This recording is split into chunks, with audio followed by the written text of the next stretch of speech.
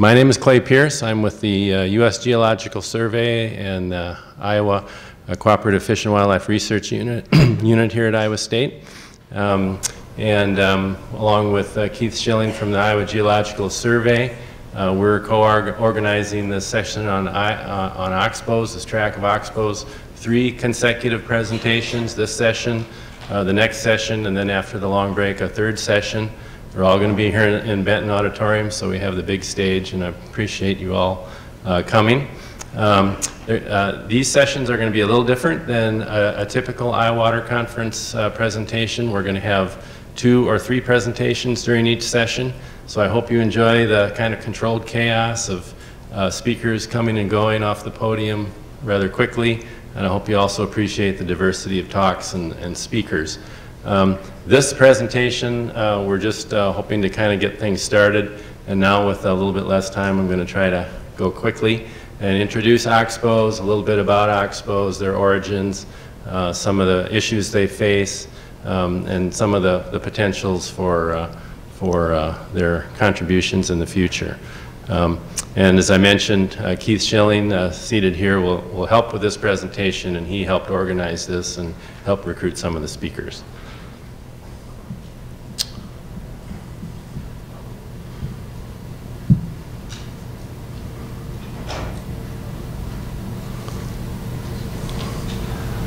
Okay, let's see. It, there we go. All right. It looks. Sorry about that. Looks good here. Looks like it's good on the screen at this point. Okay.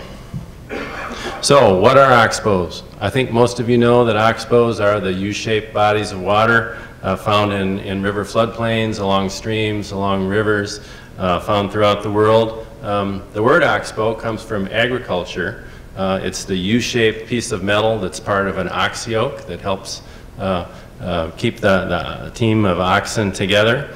Uh, so it has kind of an interesting, um, uh, interesting origin and kind of interesting the way that, uh, that, that, we see oxbows now often in our, out in our agricultural landscapes.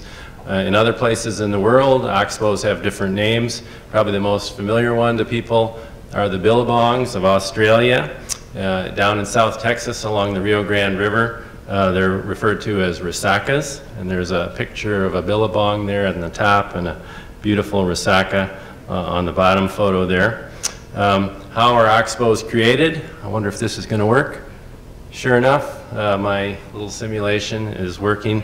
Um, so you probably, uh, you, you, you, may know, have known this already, but oxbows are kind of a, they're, they're part of that um, evolutionary river uh, floodplain river uh, morphology, geomorphology, where uh, erosion causes the, um, the, the, the, branches of a, uh, of a meander to, to migrate closer and closer together. Erosion finally cuts through, uh, um, resulting in a cutoff and a shortening of the, the, the channel uh, carrying the flow, and the leftover portion that is eventually cut off from the flow uh, is the oxbow remaining. And so that's, a, that's called a neck cutoff, and that's the most common uh, method um, of oxbow formation. And here's a, a, series of photos that illustrates that pretty nicely. This is on the Brazos River in South Texas. And here's an aerial photo of that river in, or that, uh, a bend in that river um, in uh, 1943, showing uh, uh, a very strong meander with a relatively narrow neck and that neck has become much more narrow uh, by 1995. And you can see that neck is, looks like it's about ready to be cut off. Uh, by 2004, it looked like this. Uh, there was a cutoff, but there was still a little bit of a connection. Um, and then by 2006, there was complete, uh, complete isolation of that oxbow from the river channel. And that's the, that's the evolution of a, of a typical um, oxbow that's naturally created. There is another mechanism called chute cutoff, um, and that's illustrated in the bottom diagram there. The top diagram is the, is the typical neck cutoff, and, and you can see that compared to the, the previous slides. The bottom diagram shows a chute cutoff, and it's really kind of a short circuiting of the neck cutoff process. It happens more quickly. Um, there's a, a, a, a, lower diversion angle in that cutoff and, the, and the, the where the, the water is, uh, is diverted um, typically found in higher gradient streams, um, very extreme flow events, and um, also if the, the material in the neck um, is, is highly erodible. So those are two natural uh, oxbow uh, formation, um, I guess, mechanisms, if you will, and um, uh, uh, an artificial mechanism that creates a lot of oxbows and oxbow-like uh, water bodies uh, here in the Midwest and certainly here in Iowa is stream straightening. Here's an example of that. So um, in the, uh, the left photo uh, taken in the 1930s, uh, this is Otter Creek in the Boone River water, watershed. And you see a nice kind of natural looking meandered stream. Um, and the right photo, same place but taken in, in 2015, um, you now see a straightened stream that, that has been channelized uh, through that area of, of meanders. Um, some of those meanders are still evident and those uh, can become sort of artificial oxbows. Many of those will disappear through filling, through cultivation, uh, but, uh, but some of them remain and, and some of them are, are, are potential uh, locations for restoration and you're going to be hearing about that in at least a couple of the upcoming talks. So, uh, where oxbows found? They're found throughout the world. Uh, they're a worldwide phenomenon uh, in, uh, in floodplain rivers. And uh, so here's an example uh, of an oxbow from um, Malaysia. And really kind of a similar looking picture from Alaska. Um, there's pictures like this of oxbows throughout the world. and of course, close to home here in Iowa, we have many, many uh, small uh, oxbows on prairie streams uh, in Iowa. And, and, and, although the majority of the talks and the emphasis in this session, these upcoming sessions are going to be on oxbows like this, um, I think what we're learning about oxbows, um, both from the conservation side and nutrient side, um, and we even heard about oxbows at, at lunch, so that was kind of a, a benefit that I, I didn't see coming. Um, anyway, a lot of these things I think uh, are applicable potentially worldwide um, as we learn more and more about the about oxbows. Well, how big can oxbows be? Um, the largest oxbow in North America is Lake Chicot uh, in Arkansas. It's about 10,000 acres. A uh, large body of water, as you can see there. Lake Chicot was uh, formed about 600 years ago uh, with a neck cutoff event of the Mississippi River. How small can they be? Well, um, there's a small oxbow that we worked on uh, a few years ago in north central Iowa easily wadeable. You could almost jump across that. I couldn't, but maybe some of you could. Um, and uh, that uh, shows you the range and sizes. So they're really quite a, a ubiquitous uh, feature on our landscape. Uh, the future of oxbows, um, there are many threats, and you're going to be hearing about those. Uh, there are many benefits, and you're definitely going to be hearing about those. And I think also because of that, there's a lot of reason for optimism for um, the promotion and use and wise management of oxbows uh, as we go into the future. And, and all of these things are going to be uh, discussed by upcoming uh, pre uh, presentations. So just to kind of mention one pretty obvious one, you're going to be hearing a lot about the conservation benefits of oxbows. We know, and you could probably you could probably guess um, that oxbows are a great habitat for a, a, wide variety of species. Things like fish, amphibians, and birds are um, abundant in oxbows, but that's not to leave out some of the other important taxa. Many, many taxa of aquatic invertebrates use oxbows. Of course, mammals use them, and, and so um, they're uh, an important habitat out there.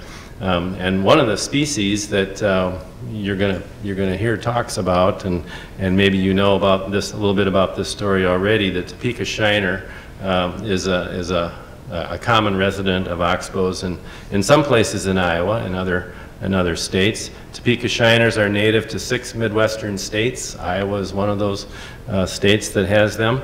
Uh, they were federally listed as endangered in 1998 their original slow water habitat because of land use, because of agricultural practices and stream straightening and a variety of, of things. Uh, that, that original slow water habitat that used to be abundant is now uh, not very abundant and oxbows have become sort of a surrogate for that uh, in, in many places.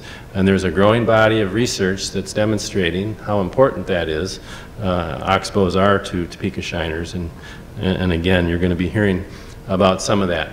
So now what I want to do is real quickly um, kind of shift gears and uh, give you uh, some short vignettes of some of the talks that are upcoming. Um, and then Keith Schilling is going to come up and, and do the same for some of the talks that he recruited. So Aleshia Kenney is here and she's going to be presenting next. She's uh, been a leader. She's with the U.S. Fish and Wildlife Service and she's been a leader in uh, um, oxbow restorations and Topeka Shiner conservation for many years. And she's going to be giving a, an overview of the rationale and history and experiences and successes from uh, 17 years of oxbow restorations for Topeka Shiner habitat uh, in Iowa.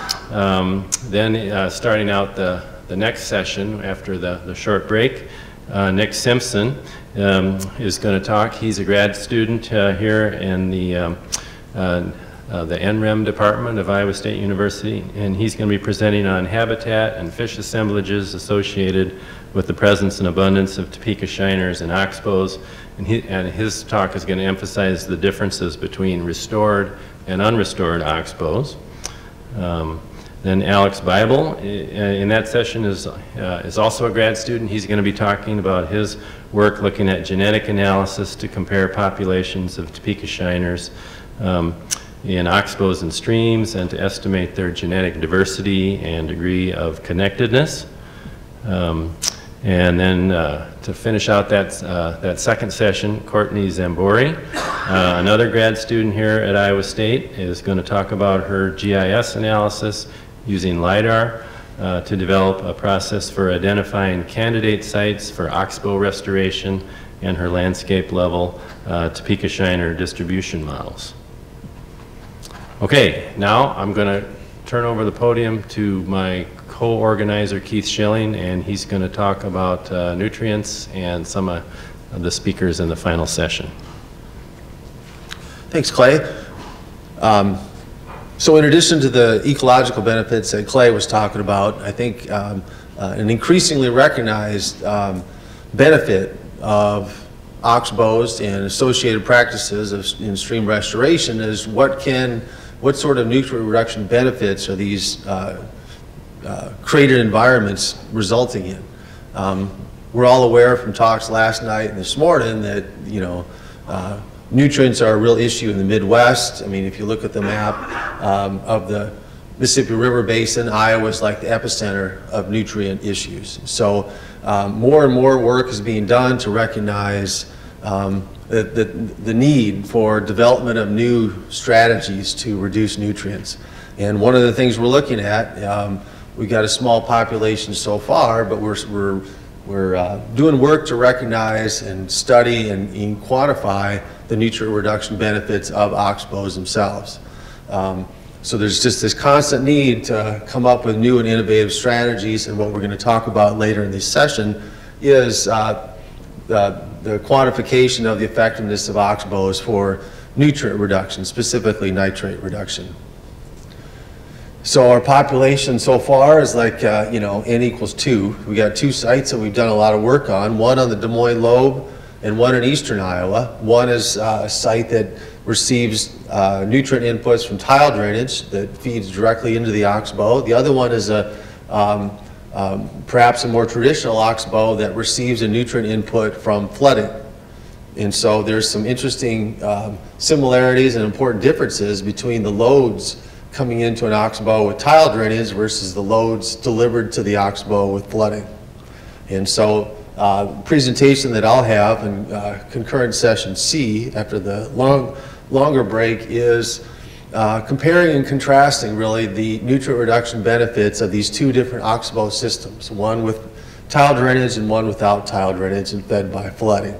Um, so that's the uh, first talk. So the, the session, concurrent session C will involve uh, three talks uh, related to the nutrient reduction benefits with my, my focus being on uh, the site-specific results of two sites we're going to start working to scale that up a little bit. Keegan Kult from the Soybean Association is on next after myself uh, to talk about how to integrate oxbow restorations in terms of watershed plans.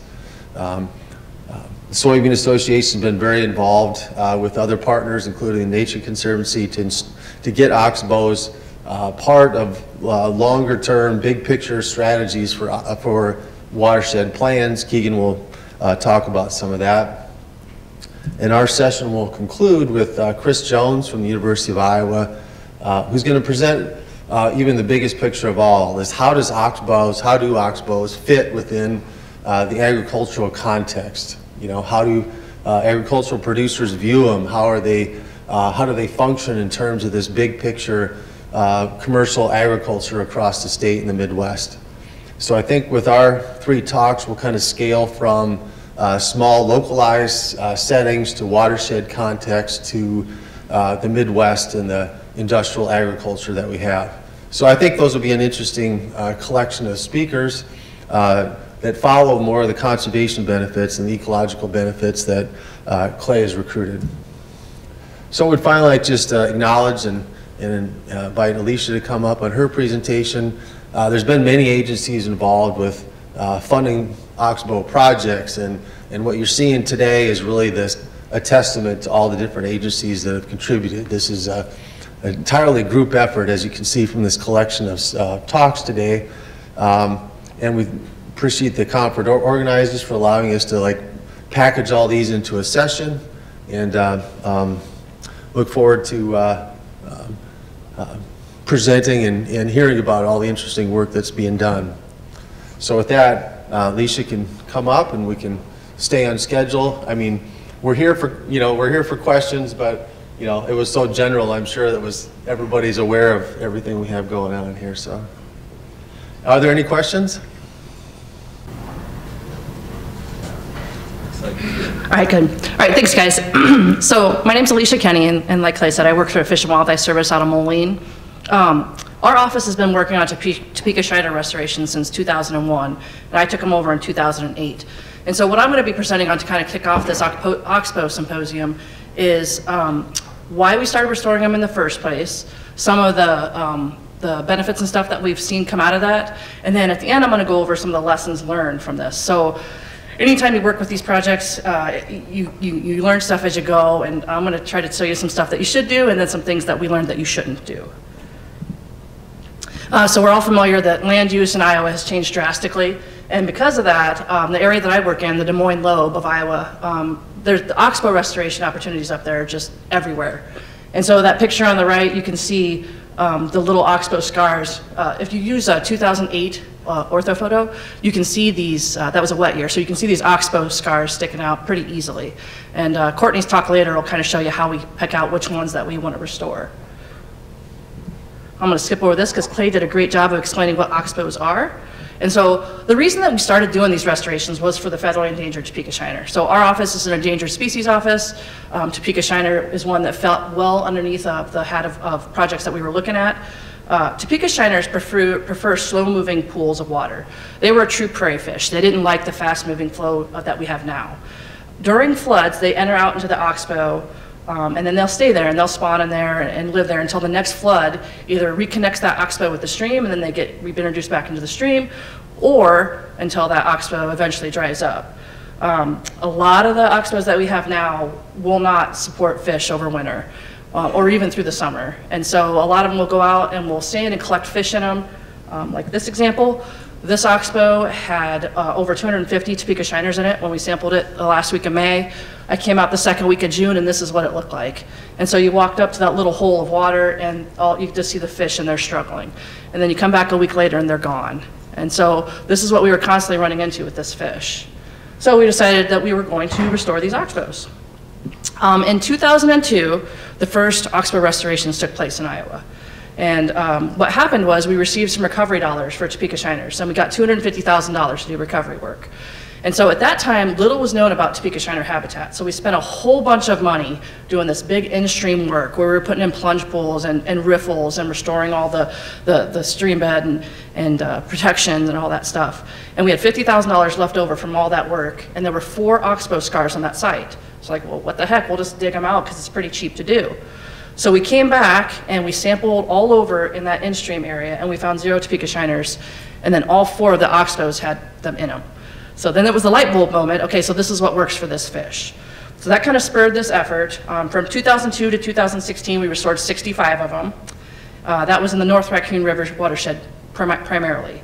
Um, And then, uh, beginning in 2010, I want to say, we started bringing in the Nat- Nature Conservancy and Iowa Soybean Association, and we started targeting the Boone River watershed. And um, so now we're up to 17 plus ongoing into that one.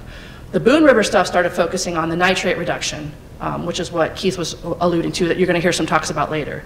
So we started incorporating both these benefits. So we know these things are great fish nurseries, and uh, now we're starting to put tile line into them and start to do some nutrient reduction as well. Um, 2016, I started doing some of these restorations in non-Topeka Shiner streams. So like Clay alluded to, uh, we focus so much on Topeka Shiners, but these things have so many benefits to them. And honestly, as far as restoration goes, they're pretty cheap to install.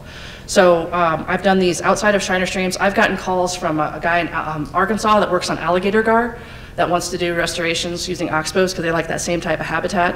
I did a talk for some folks in Ontario that were interested in doing oxbow restoration. So it doesn't have to be just Topeka Shiner focused. And so um, just remember that when I'm kind of going through some of the lessons learned. And so here's a, an oxbow pre-restoration. Um, if you look back, you can see the excavator in the back of that photo. That's where the stream is. Uh, and then um, to survey these, it's really easy. So you'll take a survey point in the stream on a nice cobbly area, and then you'll take a survey point in the bottom of the oxbow bed. And whatever that difference is, is what we use for our estimation of fill to be removed. Usually in the Des Moines lobe of Iowa, it's three to sometimes five couple cases been up to six feet of sediment that you have to remove. And a lot of times this is some of Iowa's best topsoil. So we just take that and we put it right up in the farmer's field, he tills it in, and we're good to go. The bad part for us is it really limits our timing and- the window of when we can do these uh, restorations.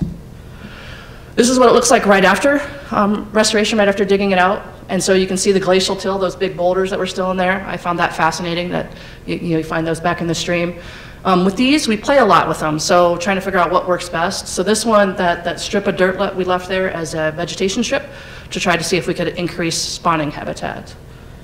And then once it's healed up, this is what it looks like. And um, there's only been one time that this has dried up um, out of all of them that we have, and that was 2012, 2013 when we had the severe drought in Iowa, and we lost every single one of them. But every other year out of that, we've had successful reproduction, and I've checked them in the winter. So I've went out with a camera in the winter, drilled a hole down, and you'll still see fish moving. I think I went through 22 inches of ice and still saw fish moving in the bottom. Um, I'm going to skip over this one, but you can kind of see pre-restoration, post-restoration, and the yellow line in the bottom is uh, the 1938 aerial digitized. So these oxbows, they, they just, benefit-wise, there's just so many um, habitat benefits that come out of it.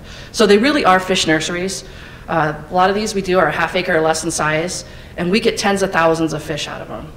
Um, Many fish, including the Topeka Shiners, use them for spawning. Uh, One, a- one half acre oxbow that we restored in Iowa off of West Butcher Creek, I sampled it um, in May, and it had 26 adult Topeka Shiners in it. That stream did not reconnect, so that oxbow stayed disconnected.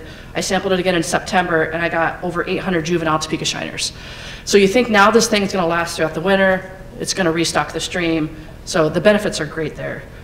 We started wanting to look at this also for bird usage, um, just to kind of show that as another benefit. And so we put recorders out there and had Iowa Audubon Society process the calls for us. And they found 54 species of birds were using them, nine of which would not have been there if the oxbow had not restored, and many of those were species of greatest conservation need. And then what you'll hear about later, which I'm not going to go too much into, but they're also great um, nitrate reducers. And then just the overall biomass and the ecological lift you get out of these things, you pull the seine through there, it's fun. I mean, the stuff that you see come out of that, the tadpoles and the crawfish and the giant snapping turtles, that would not have been there had you not restored it, it's, ju- it's, it's amazing. So here I get into the lessons learned from this. So depth matters, and uh, this goes for the fish mostly. So if you guys are wanting to do these for duck habitat, don't worry about this portion. But for Topeka shiners and fish in general, the depth matters. You have to get to that groundwater. So there's been several times where, um, when we were first learning how to do this, we'd do our survey points and we'd say, oh, it's about three feet down to the cobble area, to the, you know, you're going to hit your groundwater in there. And uh, so the, the excavator would dig down, the contractor would dig, and then he would hit what he thought was gravel, but it turned out it was an old sandbar in the stream, and he'd stop. And then they were obviously too shallow, and those were winter killing. So that groundwater is a must to obtain that ground, or to obtain that overwinter. Too deep is bad for Topeka shiners. So, so ask a lot of contractors like, well, why can't I just dig them down deeper? If you get too deep, then the water stays cooler, and then your predator fish will do better. And so if we keep it shallower and a little bit warmer, it's better for the minnows. Um, And then also what I throw at the contractors is our SHPO permit, permit only allows for post-settlement alluvium. So don't violate SHPO and go too deep.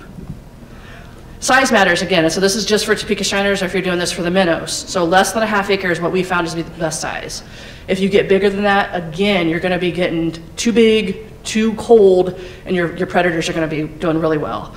Uh, so we seined one that was way over my waders. I think all of us went over our waders on it, and it was extremely wide, and all we got was crappie, green sunfish, and bullheads, and some bass, zero minnows. Um, so in order to alle- alleviate that, we, um, this was a 1.4 acre oxbow, so we divided it up into three 3 tenths acre oxbows with a little connective channel between each one. So that way, when it kind of recedes, they're all disconnected, and that, that water can warm up and do better for the shiners. Tree cover is a must for the fish as well. If you're worried about wood ducks, again, disregard this one. Uh, For fish, we say less than 50% tree cover, and uh, less trees is going to make the water warm, again, and then it avoids your winter kills. So you're not going to have all that leaf litter falling off into your oxbow, being covered by ice and snow, and then having the decay remove your oxygen. Uh, placement matters. So the one oxbow that we had fill in was just in the wrong spot. But I am not an engineer or a hydrogeomorphologist. I am just a biologist looking for a place to put oxbows. And so we put that oxbow on a bend where you had a lot of energy coming through, and it ended up filling up with sediment. But overall, we've done some studies on these, and they've, in, in 17 years, it's about three inches of deposition that's um, gone back into the oxbows. Landowner communication is your key on this. So we can't go in there saying that we're wanting to restore these things for a federally endangered species because they slammed the door shut on us. But if we go in there telling them that we're going to give them a duck hunting habitat or that we're going to give them a spot to go fishing, because there are all kinds of neat fish that go into these, um, they're more likely to listen to us. And so selling on everything except for that endangered species that we want to get that habitat benefit for. Um, we also allow grazing on these oxbow sites. So for us, it gets the cows out of the stream. In the oxbows, they'll just kind of dip in a little bit, get a drink of water, and come right back out. They won't stand in there. And we've done studies to show that the nutrient um, inputs coming from those cattle are not enough to harm the fish. So another selling point for us to get the landowner on board. Communicate your successes, and this is where our partners come in great. So um, the way to, to get more of these out there on the landscape is to find some of those landowners that take pride in that, in that restoration, and put these signs up and just show that the many benefits that come out of this and try to get more people on board. This was a hard one to learn. Be there when the contractor digs. Uh, so um, always these things tend to happen on Friday nights. So I got a call that the contractor wanted to dig, starting Saturday morning. I live four hours away from where these oxbows are. And he's like, ah, I, I see your plans. I know what I'm doing. I can do this. And it was another one of those where we told him, all right, well, you're going to hit gravel, dig till you hit gravel, and then keep that to get your groundwater. The next day, the landowner called me. He's like, something's wrong. This doesn't look right. And he sent me a picture. And I got up there, and the guy was just basically digging a big circle that was all two foot deep because he couldn't find the gravel. And so uh, we were able to fix that. So we have, I found the channel for him.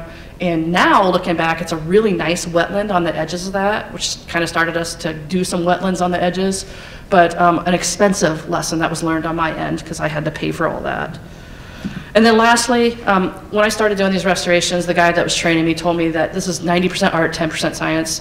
If you hit your few key points that you need to achieve, the rest of it you can kind of play with. So like I said, those vegetation shelves, adding these wetlands, um, any of that that you think might be beneficial, none of it's going to do any harm as long as you stick with those key um, necess necessities if you're dealing with something like the Topeka Shiner. Otherwise, just have fun with it and be creative. And hopefully I talked fast enough to get us a little bit back on track. Good? Any questions, or do you want to save questions for later? I'll be around the whole thing. There's time for a question or two. Okay. You guys got any questions for me? Yeah. Don't the birds that you encourage cut down on your uh, shiners there? So they're so rare. That's another question we get because we find crappies and stuff in these. They're so rare that the chances of them picking out that one minnow that we want, it's pretty pretty low.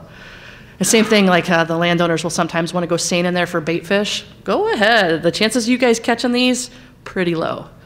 Yeah. Yes. Uh, you these off into one load with very sandy bottom streams. Do you still go to try and find a gravel later, or do you just go to that? Uh, no, so that would be different. I would probably not worry about fish habitat necessarily in something like that because you wouldn't want to completely lose all your water. But um, I haven't had to deal with that yet. Anybody else? Yes? So when you have a site, we have so many channelized streams, so we're looking at the options of doing stream restoration to form meanders, uh -huh. or we could possibly do some of these oxbows, which don't have direct flow. Yep. Any experience on which, which direction to go or what balance that you're looking for? Uh, I guess it depends on what your your goal is. So fisheries-wise, these seem to be doing a better benefit than, for fisheries than just your in-stream work. Overall, I mean, your in-stream work is gonna get some of your more game fish, so if you, it, it depends on what your goal is, I guess. But we can chat later about that if you, if you have some ideas. Let's thank Aleshia. All right, thank you.